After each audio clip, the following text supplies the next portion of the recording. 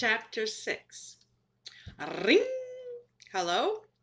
Hello, Susan. It's me, Alex. I've been having great fun giving our literature out for free. I've got a cell phone so you can call me at any time. That's great, Alex. We're so glad you called. Henry has finished the last trumpet alarm and he wants you to come back and get them to distribute. We are almost finished getting the ones ready to mail out. I'm on my way. Pilgrimage's Last Trumpet Alarm. Year of Recompenses by Henry Robinson. There is a time coming that goes by different names, like Great Tribulation, Day of God's Wrath, and Year of Recompenses. Needless to say, no one should want to have to go through this period of history. Yet the Bible clearly states there will be a few that are called to the marriage supper of the Lamb. Jesus states this clearly in Matthew 7 13 to 14. Enter ye in at the strait gate, for wide is the gate, and broad is the way that leadeth to destruction, and many there be which go in thereat. But strait is the gate, and narrow is the way which leadeth unto life, and few there be that find it. And in Revelation 19:9 it says, And he saith unto me, Write blessed are they which are called unto the marriage supper of the Lamb. And he saith unto me, These are the true sayings of God. In Isaiah 34:8 we find the following. For it, for it is the day of the Lord's vengeance, and the year of recompenses for the controversy of Zion. And in verse 5, we find out why there is a controversy. For my sword shall be bathed in heaven. Behold, it shall come down upon Idumea and upon the people of my curse to judgment. Some of the modern descendants of Idumea are the Jews in the Holy Land. The Lord is upset with them because they have duped his true chosen people into believing that they, the Jews, and his cho- are his chosen people, when they in fact come from Esau, not Jacob. Their claim to the Holy Land is false, for it really belongs to the true descendants of Israel, found in the Anglo Saxon, Celtic, and kindred peoples of Great Britain and the United States.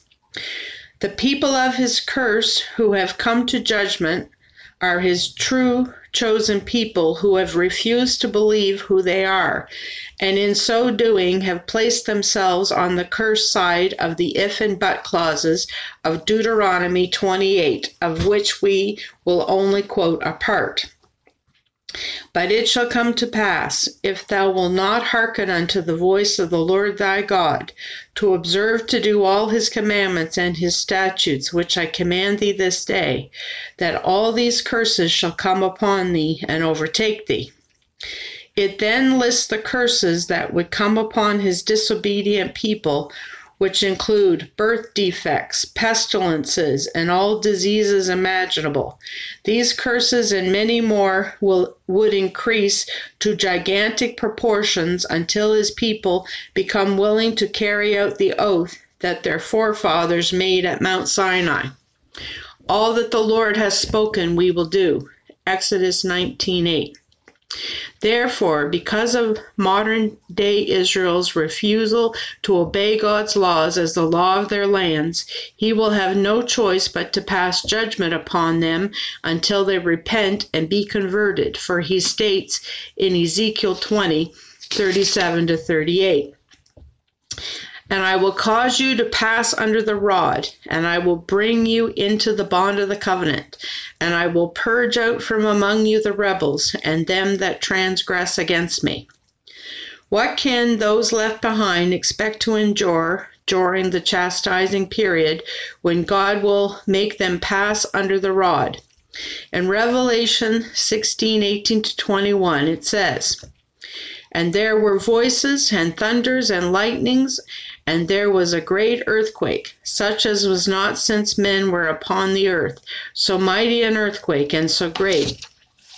And the great city was divided into three parts, and the cities of the nations fell.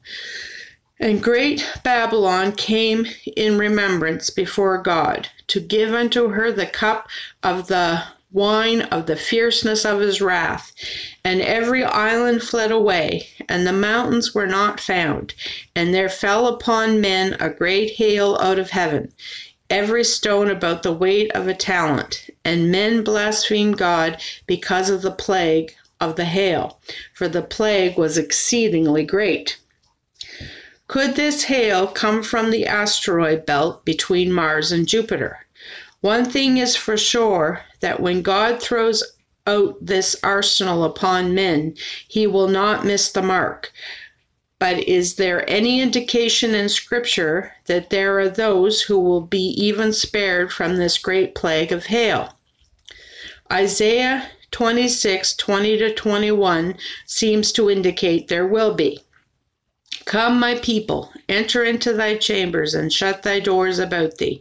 Hide thyself, as it were, for a little moment, until the indignation be overpast. For behold, the Lord cometh out of his place to punish the inhabitants of the earth for their iniquity. However, it only stands to reason that those to be spared will only be those who have truly repented and allowed the Lord to write his laws upon their hearts and minds, as Hebrews 10:16 states.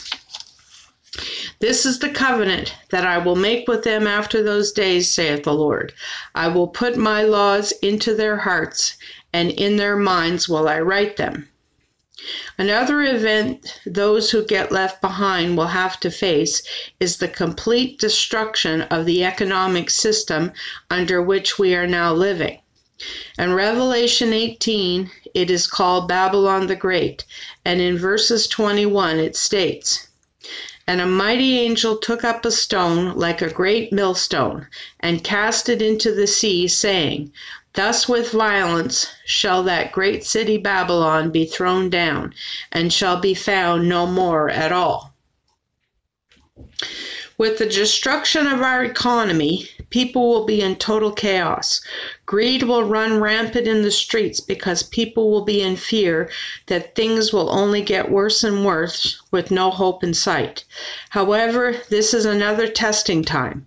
Those who heed God and his righteous ways will be satisfied, but only those who have truly repented. God knows the heart, and no one can fool him. He's not interested in feigned love but will only listen to those who sincerely repent of their sin and allow Him to convert their souls in the way of righteousness. The thing to keep in mind the most is that evil men during this time will try to fool you into believing the Lord Jesus is not coming back to rule and reign over his kingdom that was established at Mount Sinai so long ago. These evil men will try to set up their own system that is contrary to God's. Don't do what they say, even when they tell you you can't buy or sell anything without complying with their wishes. There has been much speculation as to what the mark of the beast is that is found in Revelation 16:2 and 19:20. Since it is highly unlikely that there will be any functional computer systems during this year of recompenses, the microchips which are just beginning to be used in companies as a way to keep track of their employees will be non functional. Therefore, I suspect that this mark will be in the form of a tattoo placed either on the hand or forehead. The law makes it plain that tattooing is forbidden in Leviticus 19:28. Ye shall not make any cuttings in your flesh for the dead, nor print any marks upon you. I am the Lord. So, if I'm correct that tattooing is what will be required at that time, then make sure that under no circumstances you comply, for that receiving of the mark will say to the Lord, You do not believe in what his word says in Philippians 4:19. But my God shall supply all your needs according to his riches and glory by Christ Jesus. If you stay firm and not waver, then you will be numbered with those in Revelation 7:14. These are they which came out of great tribulation, and washed their robes, and made them white in the blood of the Lamb.